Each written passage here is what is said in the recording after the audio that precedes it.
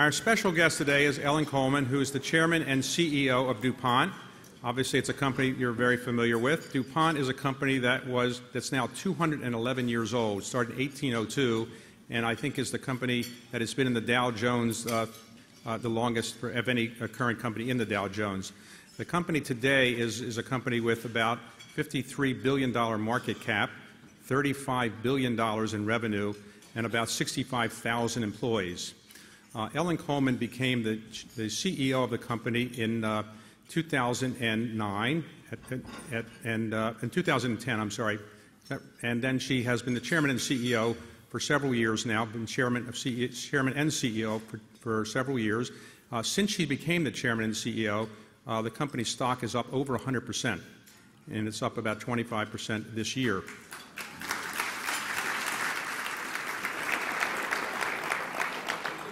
So she assumed her position as uh, chairman and CEO in both positions uh, as of January 1, uh, 2009, I should say. Uh, she has um, been at, G, at, at, the company for uh, since 1988. Um, came there from GE. She started her business career actually at Westinghouse while she was in graduate school at, at Northwestern Business School, worked during the day and got her master's degree in business at night. Um, she did her undergraduate work at Tufts. Um, at, uh, when she joined DuPont, she had a series of positions and worked her way up to be a president and then later a chairman and CEO. Um, earlier today, uh, uh, Forbes, magazine, Forbes magazine and uh, disclosed that she's one of the most highly regarded women in the, in the business world and said that she is the third most powerful woman in American business. And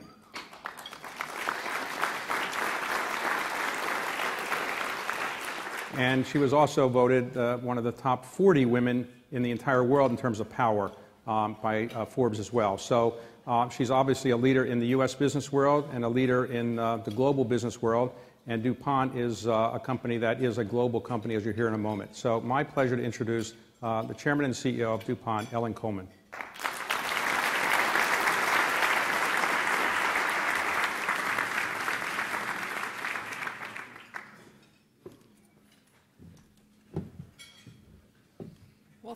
David, very much. It's a great pleasure to be here. I am certain that when we scheduled this, we had no idea what was going to be going on in Washington this week.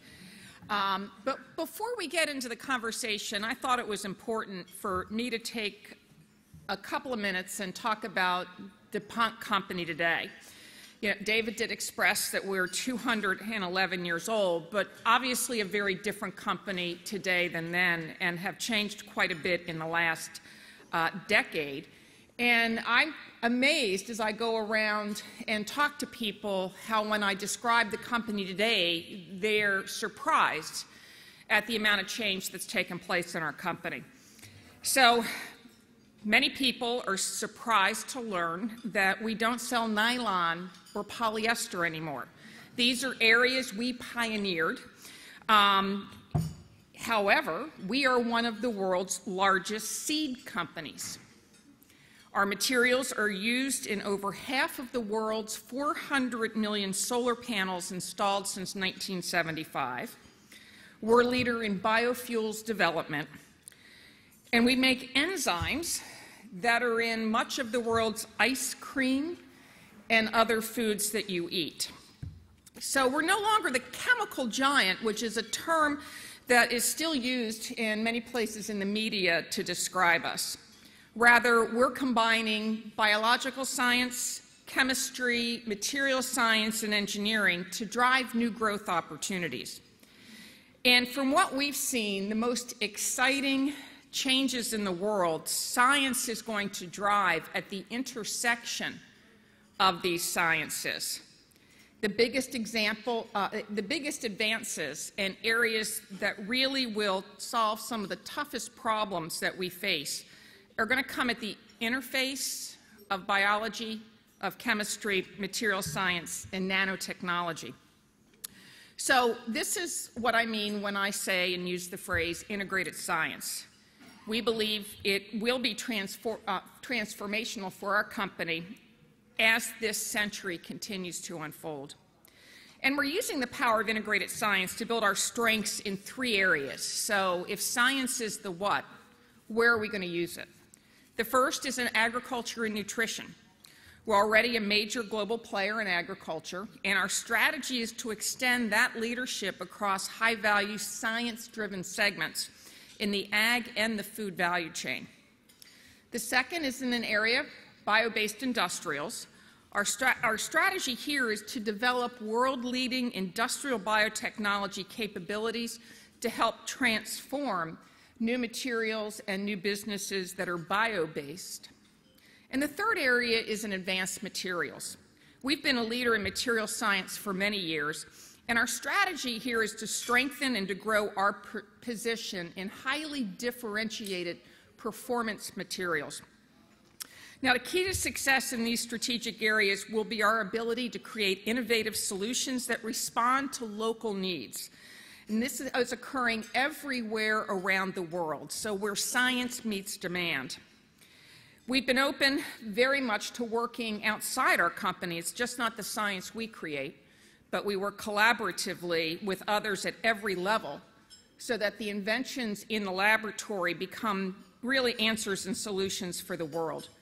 Because the challenges we face, no matter where we are in the world, are very large and very complex. And I don't believe there's one company, one country, or one institution that has all the tools to help create those solutions. So, to facilitate collaboration, we've built a global network um, to bring our science closer to local markets. And these are innovation centers, and each one of them allows our customers and other strategic partners to work with us to solve their problems locally. Now, at a DuPont Innovation Center, uh, partners of ours can connect with the more than 10,000 scientists and engineers in our company, no matter where they are in the world, to help create a solution or an answer to create a new application, a new product, to help them be more successful. And of course, in only a few minutes, I can only scratch the surface, but I wanted to take the time to give you this overview so that as David and I are continuing our conversation and you hear me talk about soybeans or corn or cellulosic ethanol, you know that I'm talking about DuPont, but it's a transformed DuPont. So the bottom line is that our science and our markets are different, but our core values and our purpose as the company are the same. And really, it's the determination of our 65,000 employees around the world uh, that create this, and they're as solid as ever. We have an extraordinary set of scientific capability. We have tremendous insights into local markets, and we are very well positioned to continue to use this science to create solutions that make people's lives better, creating value for our customers and our shareholders. Well, thank you very much, and I look forward to our dialogue.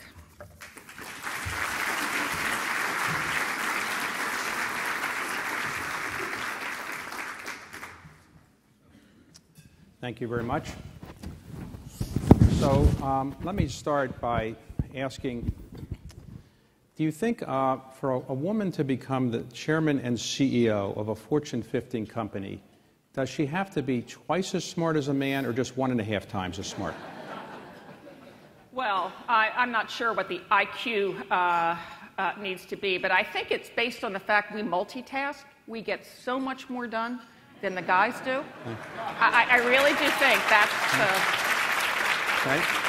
So when you, you uh, worked at Westinghouse and then General Electric in 1988, you came over uh, to uh, DuPont, and you're from Wilmington. So was that a factor in wanting to go back to the, a company based in the state that you were born in or raised? Was that a factor or not? Well, you know, I, um, I was married. My husband and I um, had lived in Connecticut with GE, then in Milwaukee, and um, we wanted to get back to the East Coast. And, you know, the amazing thing to me is, uh, is DuPont at that time um, had more than 50% of their business centers were located in Wilmington. My husband's an engineer and an MBA as well, and he and I both worked in the company.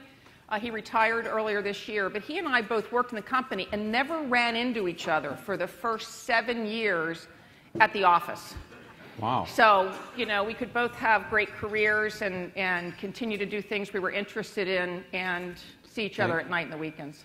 So um, when you became, uh, when you joined from, from General Electric, did you actually think it was realistic that a woman could uh, become the CEO of that company or any large company of that type?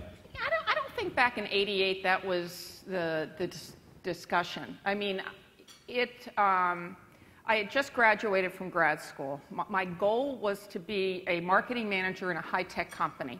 I, I failed. Um, I don't think DuPont would be considered in the tech world.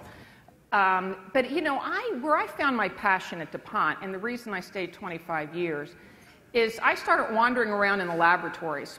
Uh, I was working in, in one of the businesses and met our research and development folks and started wandering the halls, finding out what they were working on. And I really felt, as an engineer with an MBA, my passion was how to connect that science to the marketplace to really help our customers succeed and hence DuPont succeed.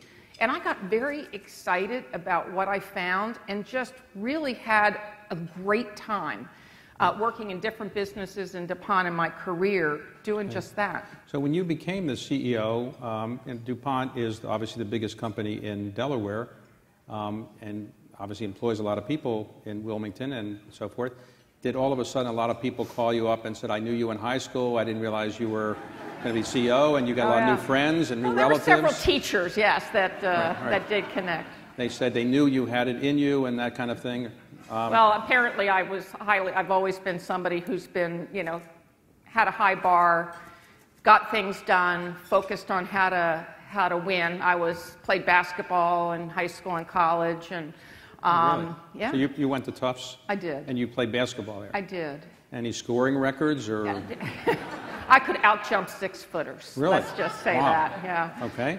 So you didn't consider a career in professional basketball? No, no, But, not, no. I, I really uh, focused on engineering. I really Okay. felt that was a better path for me. okay. Uh, well, it seemed to have worked out. So when, when you became the CEO, uh, it was, there was a free fall in the U.S. economy at the time, and we were in a terrible uh, financial meltdown. Were you worried about uh, your ability to engineer earnings increases and so forth at that time? You know, we had a couple of things. Number one is that I, you know, in the last couple of years before I became CEO, as I, you know, was um, taking on more responsibility in the company, I realized I had maybe an opportunity to lead the firm. And so I had a plan. I had, gee, if the board ever called me and said, you know, what would you do differently? I, I had plan A. And the hardest thing I had to do was open the drawer and put plan A in it and close the Right. drawer and create plan B. Because the world was changing so quickly, it was a very different place.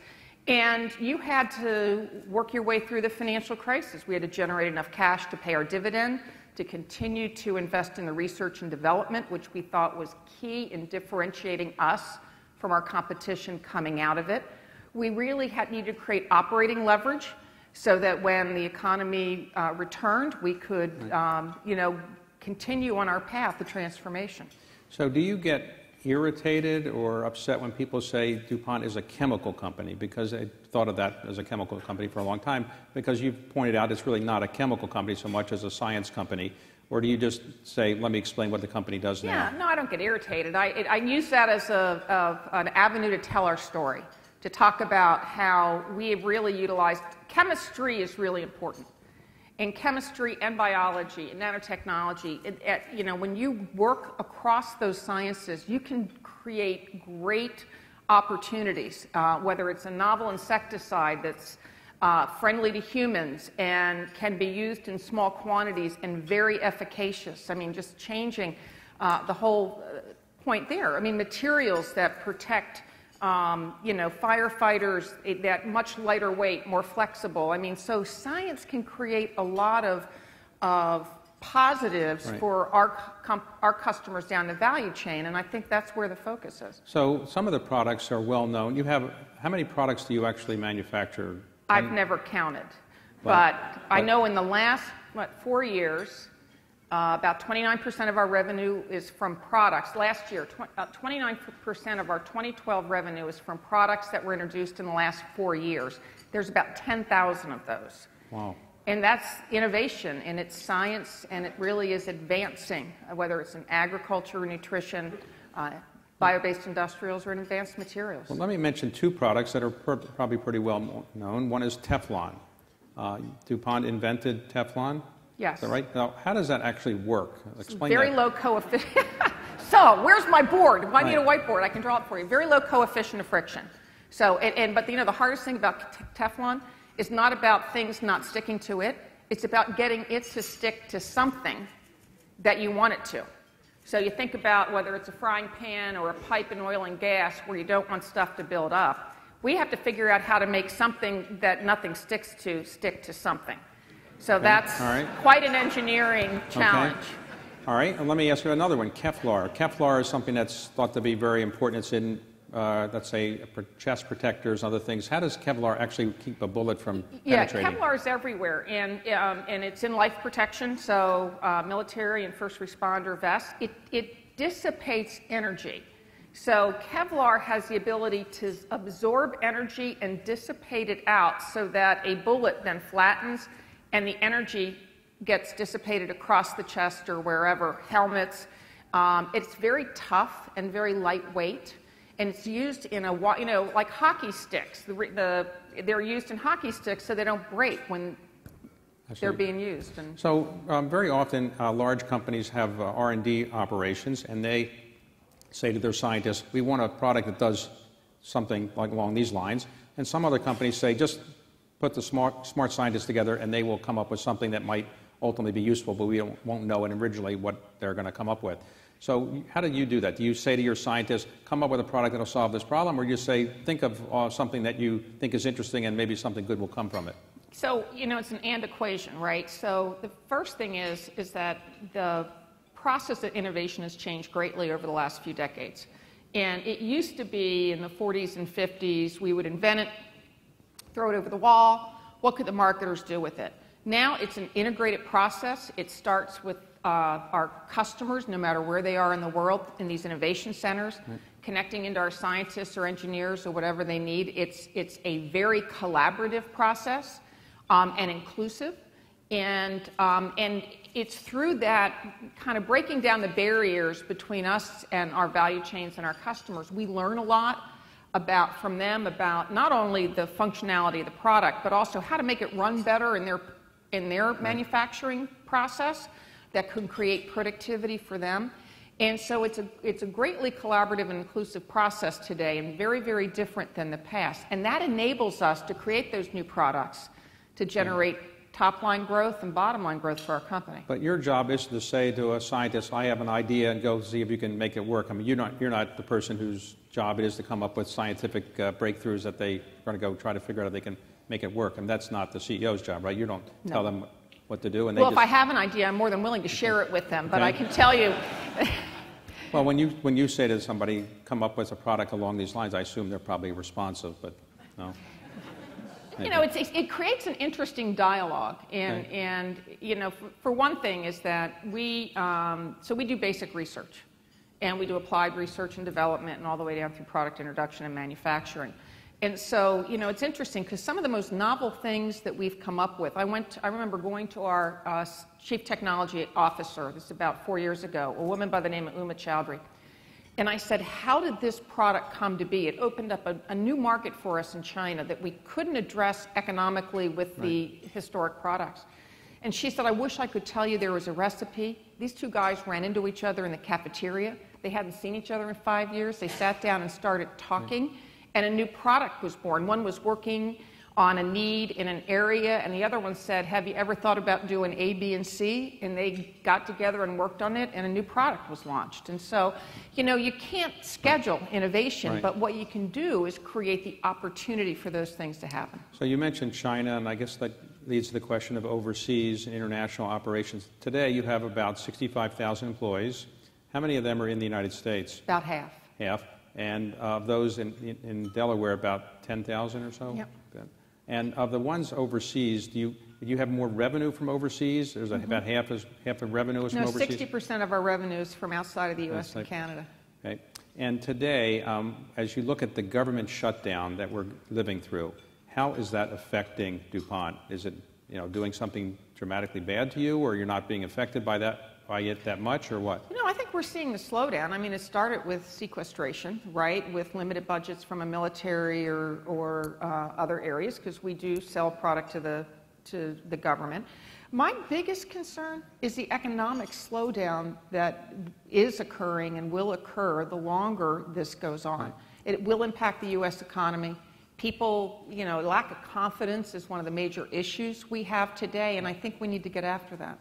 So you're in Washington today, obviously. I suppose the president called you up after this and said, Come on over, I'd like some ideas from a business person about how I could solve this debt problem. Uh, what would you tell him he should do?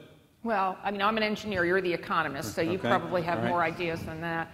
You know, I, you know, when I think of some of the problems that we face in, in business, we focus on creating the answer, but then we, afterwards, we go to root cause and say, how do you fix the process? I see so many people today trying to focus on who's at fault as opposed to focus on what we need to do to go forward. So I'd ask for the conversation to look forward and say, what do we need to do to make this better? And we can always figure out how, um, how we improve our process in order to have this not happen again. So if the president said, okay, I, I take it you don't want to give me advice, but I need a senior cabinet officer at some point or some future president, would you ever go into government in a senior position or you, you've had enough of? I, I have a reputation for speaking my mind and not being able to control that many times, and so it probably wouldn't be a good career choice for me. Okay. So um, let's talk about China for a moment. You mentioned earlier.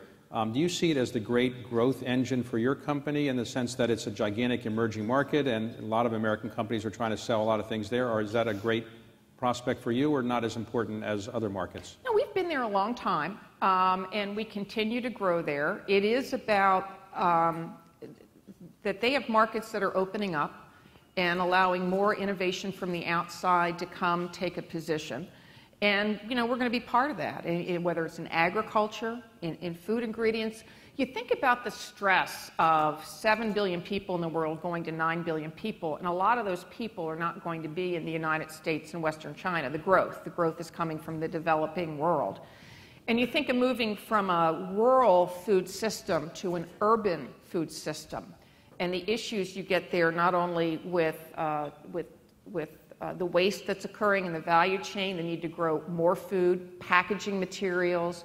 Uh, it's about the nutrition of the food, not just the quantity. And you see a lot of change taking place in places like China, in India, in ASEAN, and in, in other places in the world. So that creates opportunity.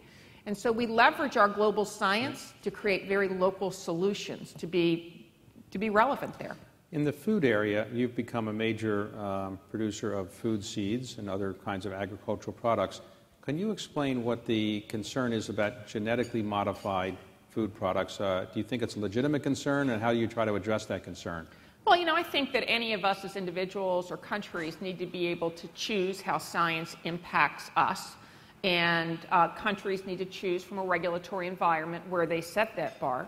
I think it needs to be done from a scientific framework, not an emotional framework. Um, I'm very comfortable with the technology. Um, I, uh, you know, it is one of the most studied technologies between EPA, FDA, and the various regulatory regimes around the world. But I'm very clear that, that um, we as individuals and we as a country need to make that determination. Now, I'm a big believer that science is becoming a bigger part of all of our lives, not a smaller part. And we're not doing our job as a country in educating our children to be able to Right. live in a world where they need to make these decisions and they need to do it from a base of knowledge. And I think, you know, the work that's been be, being done around improving the curriculum in STEM, in science-based areas is critical to our future. You have three children. Have they followed your advice? Are they going into these areas? Are they getting educated in those areas? Two, two out of three, so I, That's not you know, bad. so far. So two are still in college in engineering school. Okay, so today, um, as you look at DuPont, um, do you see it as a uh, company that is helped by being based in Delaware or hurt, or that makes no difference? In other words, it's a small state, some might say, um, and, and uh, it's a state that isn't the center of the financial world way New York is. But do you see it as a plus or a minus, or it doesn't make a difference? Well, strategically located between Washington and New York, what else could be more perfect than that? all right. You know, I, you know, for any business leader today, what you need access to is transportation.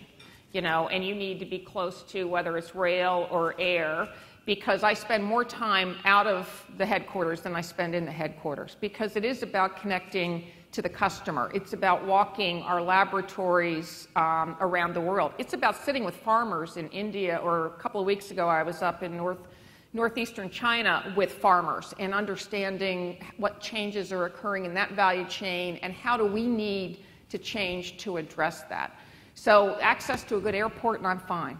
Do you spend uh, your travel time? Are you out of the United States uh, a large amount of your travel time? Is that where because your customers are out outside, or Yeah, about half my travel is outside the U.S.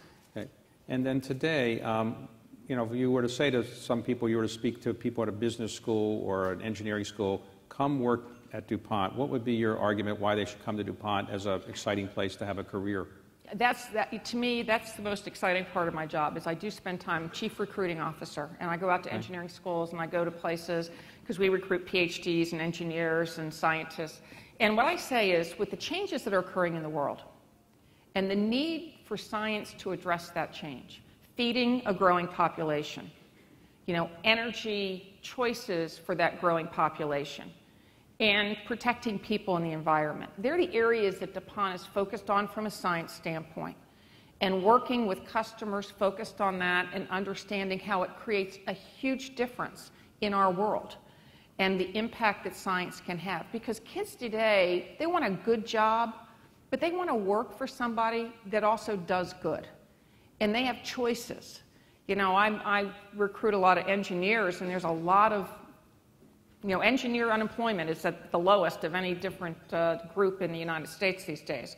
So it is. People, young kids today, have a passion for helping the world become a better place. And I talk about the impact that DuPont has had and the impact we will have in the future. So from the time somebody in your labs comes up with a new idea till it becomes a product, is that a typically a multi-year period of time? And how do you eliminate the uh, bureaucratic tendency to slow things down when you're trying to get new products to the market? You know, it, um, so we measure it, right? We measure cycle time, and it's different in every industry. In automotive, it'd be three to four years. In agriculture, if it's seed, it could be 20 years. Um, and you know, I'm the beneficiary of the decisions my predecessors made in terms of where to focus our science and technology. And they created um, innovations that we are introducing this year and next year that are helping us grow. And, um, and I focus on, you know, we've done a lot. We've increased our research and development um, budgets quite a bit over the last five years since the global financial crisis. And we measure it. Uh, we measure its impact on our new products, on our top line growth. Uh, we, you know, it's interesting because what you want to do is, is if you're not going to be successful, you want to fail quickly and you want to fail cheaply. And you have to make it okay for people to do that, and you have to honor the learning from that. And so I spend a lot of time in our labs. Okay. So how many people, I'm just curious, how many people here think that they've used a DuPont product today? Um, okay. All right. And how many people here actually understand how Teflon works? okay. Okay. My senator does. Okay. It's a proud moment. So, uh, well, so today, um, as you look at the competition, do you see the greatest competition DuPont as a uh, company from uh, other companies in the United States or from companies overseas? Do you see uh, where do you see your beta- biggest competition coming? From Yeah, I think the most of our competition is coming from emerging markets as their companies create um, and continue to grow and evolve. And we've been dealing with that, I mean, for decades. Um, but, you know, the interesting thing is that um, it, competition is good, right? I think competition is good for the economy. I think competition is good for us because it keeps us on our game. It keeps us focused on what's important, on how to continue to create innovation that makes a difference to our customers. And then not only we as a company uh, create value, our shareholders participate in that. And I think of that as great. I love, um, you know, well, the basketball player in me comes out. You know, I love the nature of competition, and really winning in the marketplace is what it's all about. So uh, today, when you are um, worried about being the CEO, you have to deal with uh, increasing quarterly earnings every quarter.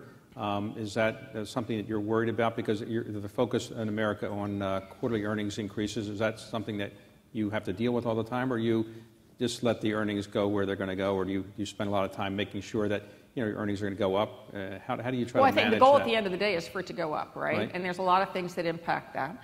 Um, so yeah, so you have to meet your short-term commitments, and you have to make sure you have a long-term plan that takes you in a direction that continues to create the opportunities right. that allow you to make those short-term commitments. So, it, what keeps you up at night? What are you most worried about, both as a CEO of DuPont and as an American business leader? What are your biggest you know, concerns? So, if you look at, at, what's happening here in Washington, you know, it's it's just the tip of the iceberg in many ways. We have to deal with it.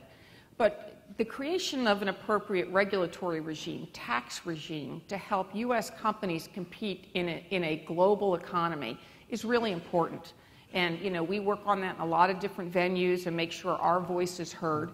Um, but I think that is the most important thing because to create a strong, vibrant U.S. economy um, is, you know, needs to have the regulatory, the tax in an appropriate place to allow us to compete, not just in the U.S., but compete globally. So, do you spend a lot of time in Washington with regulators talking about environmental concerns or other kinds of things? And how have you dealt with the environmental concerns that some people have had about chemical companies? Has that been a big problem for you? Well, I think we've dealt with it very, um, you know, upfront and over decades. You know, I mean, my, one of my predecessors, um, Ed Woolard, deemed himself the chief environmental officer. And really, this was back in the 1980s and created us on a pathway around sustainability, footprint reduction, right? And then not only that, but how do our products make a difference to help other companies um, be better from a sustainability standpoint? For instance, advanced polymers today take much higher temperatures, more highly corrosive environments than they ever have, enabling automotive companies to lightweight vehicles. These, these diesels they have in Europe, very hot, very corrosive. Polymers are replacing metals to allow lightweighting, to allow increases in fuel economy. So everybody wins, right? And so focus in those areas. So not only do we look at it from an environmental footprint reduction, we look at how our products can help down our value chains to create a more, more sustainable future right. for our world. In terms of uh, future opportunities, let's suppose someday you might leave as CEO someday, way down the future, and somebody came to you and said, uh, here's a billion dollars to invest as a private equity investor, invest in some area you think is very attractive, where there's going to be growth opportunities. where, where would you, where would you well, put that gee, money? let me think, David. Let's talk about this. You know, I tell you, I, um, a decade ago, uh, or more, 13 years ago, I started working in laboratories and understanding the power of biotechnology to really change the material world. It, it's done a lot in pharmaceuticals, it's done a lot in agriculture, um, but it's changed in the in materials world. I think we're just at the beginning of that transition. I think that raw materials coming from biologic sources, from cellulose, from waste, um, is going to create not only um, more sustainable materials that we know about today, but new and different materials that are going to enable a whole different future going forward. So I'd pick that area. So you would, okay. And do you think that uh, other countries are competing uh, more favorably against us than we would like? In other words, do you see China being able to make investments in this area better than we are, or, or do you not worry about our competitive abilities? Yeah, I think this is an area where we're just at the beginning. And so there are a lot of little companies, a lot of entrepreneurs that are out there that are doing some very interesting things. We probably have the largest base of science in that area. Uh, a lot of it homegrown, some of it we've purchased um, from the outside. Um, and I do think, getting back to uh, the issue of collaboration, that it's not going to, we alone aren't going to get there. It's by partnering. Like we're partnering with BP on butanol which is a, um, an a energy, uh, so we replace uh, ethanol, but doesn't have the energy degradation, doesn't have the issues in moving through the pipelines. And so, and there's a lot you can do in those areas, but it takes partnerships, and it's going to take working across those boundaries to really get it done. Now, who is the person who thinks of these names of the products? The Teflon or Kevlar? Who, who is, do you have a person whose job is to come up with these names? Know, I or do think, that- yeah, that wouldn't be me. I tried. They don't let me. But um, I do think we let the scientists, you know, kind of have a, a say in it. Now, I, you know, honoring our scientists in that way is great. Uh, Rynaxypyr, the insecticide I spoke about earlier, uh, zero sales five years ago, 750 million last year. The name hasn't seemed to slow down its success uh, in the marketplace. So, uh, so that is a. I'll take that back and find out exactly who named that one. Okay. But So ultimately, as the CEO, you will at some point down the road, perhaps step down, do something else. Um, is there any career ambition you have other than running a large company like this? And presumably you don't want to go into government, and I don't know if you want to go into private equity. You're always welcome, of course. but um, is, is there anything that you would like to see as a professional challenge that you ahead of what you're doing now? yeah, you know, I, I tell you what, my, where my passion lies is in science education. It's in creating more engineers. Uh, it's creating more scientists, and I think re, you know I spend a lot of time uh, working Change the Equation, which is a, a, a bunch of CEOs uh, with the Business Roundtable, a bunch of CEOs working together to see how our efforts can help create a stronger scientific future in our educational system. So that's an area of passion of mine. And I think what it comes back to is how I kind of grew up in business. Grow, I grew up you know, as an engineer with a with a MBA, but connecting science to the marketplace, and I think that's really where I get excited and where I love to spend my time. And so your legacy, not that you're leaving, but what you would like to see uh, people say about what you've done for DuPont um, is what? That you've transformed it from a certain type of company to a different type. What would you like people to say as of now that you've done to effectuate change? You know, it's interesting. I do think it is around transformation. I mean, we're in our third century. Uh, we moved from an explosives company to a chemical company. We're now moving into the integrated science company and really creating um, great products and services down our value chains to enable our customers to be successful using all the power that science has. And it is that transformation and that broadening um, that is really uh, driving me, it's driving my senior team, and creating the growth, both top line and bottom line, for our company. And uh, today, would you say that uh, DuPont is as strong as any time you've been in the company and you're very happy with your prospects going forward? Or you, what is your biggest concern today for DuPont? Well, I think for any CEO, you, you're never satisfied with where you are. You're always looking to where you can go. You know, uh, hold the bar high, make sure we have the right people in the right jobs to really continue to drive the change. Uh, you know, I, I'm very proud of the work our team has done since the global financial crisis. I think we've performed very well. And I think we have great opportunity in front of us. And I think that really, uh, that kind of uh, creates the morale and the drive and the motivation for our teams around the world to continue to connect our science to the marketplace. So, if a woman today is watching this interview, or she maybe is in the audience, and she's an MBA student and she wants to become the CEO of a Fortune 50 company herself, what are the one or two things you would say that she should do, other than being smarter than a man, perhaps? But what would you say is the, the qualities to, to rise to the top that one needs? You know, so each of us has what I call the book on us, how people view us from the outside. And, you know, so what's the book that makes a good CEO? Right? It's you have to be smart certainly, but you have to be able to bring people with you. You have to build strong teams, get people to work together, give them a, a compelling vision of where to go. So it is the EQ as well as the IQ, but build a good book on you. What do you want to be known for? Getting things done, working across complex environments, and creating a future. And so I think that part of it, and whatever, I mean, I think the wonderful world we have today means people can choose, you know, where they go and how they engage. And so do that perspectively, not just looking in the rearview mirror. So, how do you stay in touch as a CEO of a large company with, with the average person, their interests? So, do you go shopping in supermarkets yourself, and do people recognize you because you are famous in Delaware and other places? But how does that get done?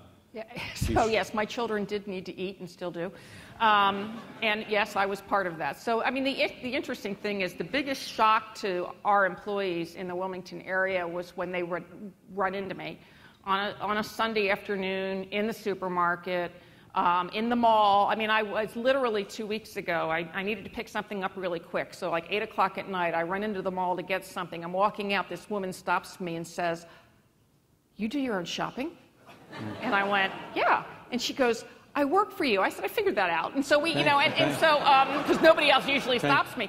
Um, and so I said, So where do you work? And so we had a great conversation, very quick conversation. Um, but people are shocked that I, we all, you know, live life the same way, right? Okay, so you're very happy with where you are today at DuPont, and you're very uh, satisfied with uh, your career to date, I'd say. Was there one goal that you have that you would say is the goal you have ahead of you the next three or four years or so?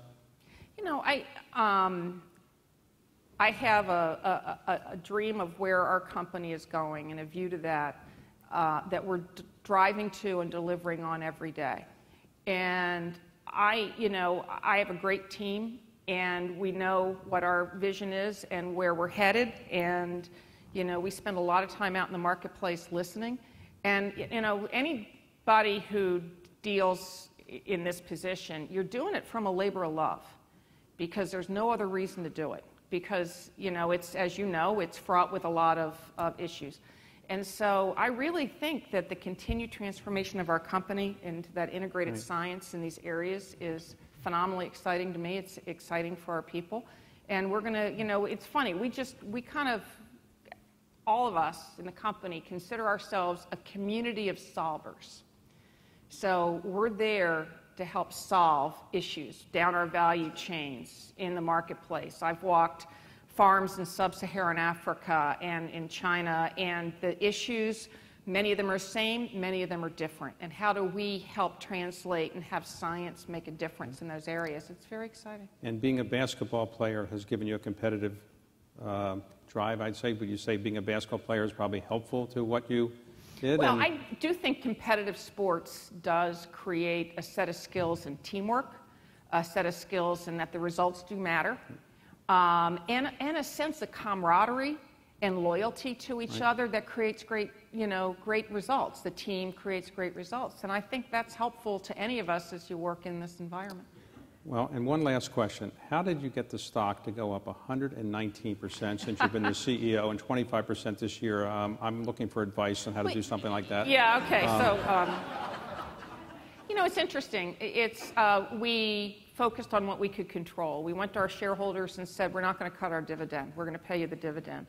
We looked across our company and said, we're going to focus on research and development. We'll be successful coming out of this crisis by creating new innovations and products that, are, that our customers want and need better than the competition and you give people a really clear sense of purpose and drive coming through the financial right. crisis, and they just ran for it and, and delivered on it greatly.